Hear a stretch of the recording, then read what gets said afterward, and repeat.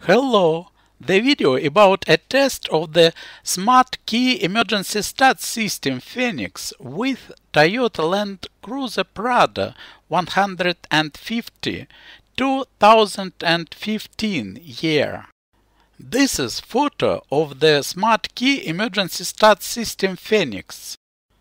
This is photo of the tested order.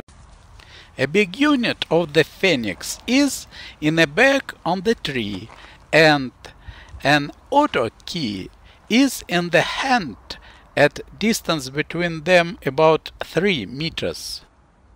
The lighting display of the big unit indicates an information exchange with this unit. Now let's go to the auto, which is located at a distance of approximately 110 meters from the key.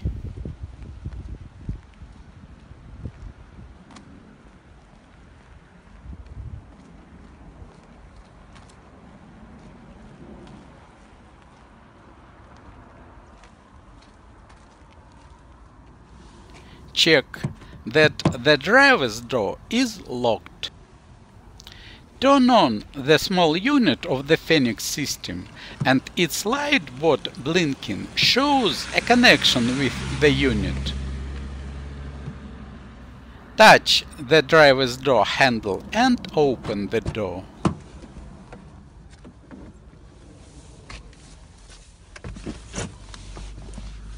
Put the small unit on the front on the central console.